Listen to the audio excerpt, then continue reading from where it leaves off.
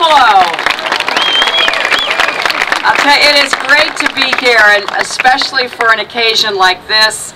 It is such a privilege and joy to see this project and all that it means for uh, not only Buffalo, but Western New York. And I want to thank my friends and colleagues, Senator Schumer, Congressman Higgins, Erie County Executive Chris Collins, and of course Mayor Brown.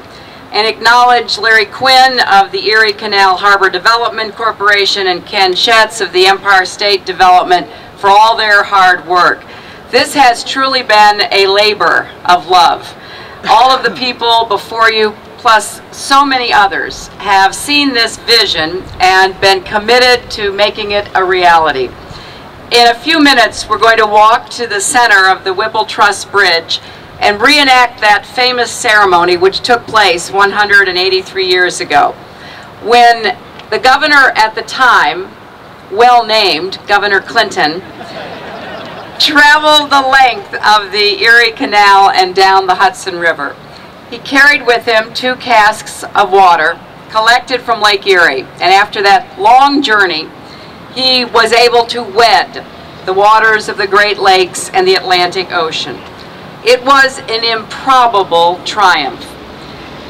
When one thinks about how ridiculed Governor Clinton was at that time when he said we can connect up New York City and Buffalo. And people called it Clinton's Ditch. But the construction started and it continued. And it took so many immigrant workers and so many leaders who never ever wavered. Local economies boomed, commerce exploded, and Clinton's Ditch became one of the greatest infrastructure achievements in the history of the world, transforming the American economy and ushering in unprecedented growth for upstate New York. Today, the Erie Canal still excites our imagination, and it still can drive our economy, creating new opportunities and jobs. I'm very proud to support the redevelopment of the Erie Canal Harbor, and I know that the progress we're celebrating today will continue. I've traveled over the last 17 months across our country, bragging about New York and talking about all that we have to offer everything that New York stands for and contributed to this country over the course of our lifetime as a nation and all that is yet to come. I am as convinced as I can be that as we see the progress here in the inner harbor, the outer harbor, we're going to see the revival of Buffalo continue.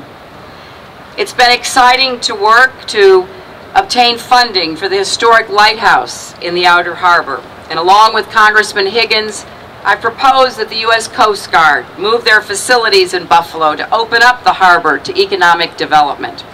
I'm hopeful that our proposal will be passed into law. That's another huge opportunity for Buffalo. As we wed the waters today, I think about all of the people who worked hard for this moment. I see our former mayor here and the former county executive and so many others who crossed party lines, crossed county and city lines to join hands to say Buffalo must once again regain its position as a great American city. That's not only important for the city itself, but for the surrounding region. So these new partnerships between the public and the private sector, between local universities and local businesses and all levels of government, says clearly to me that yes, it may be challenging, but we are up to the challenge. We've never been short on either hard work or resolve. That's what was proved by previous generations of New Yorkers and Buffalonians, and that is what is being proved again. I'm excited because I see the future very, very positively. We're having a challenging time, not only here in Buffalo and Western New York, but across our country.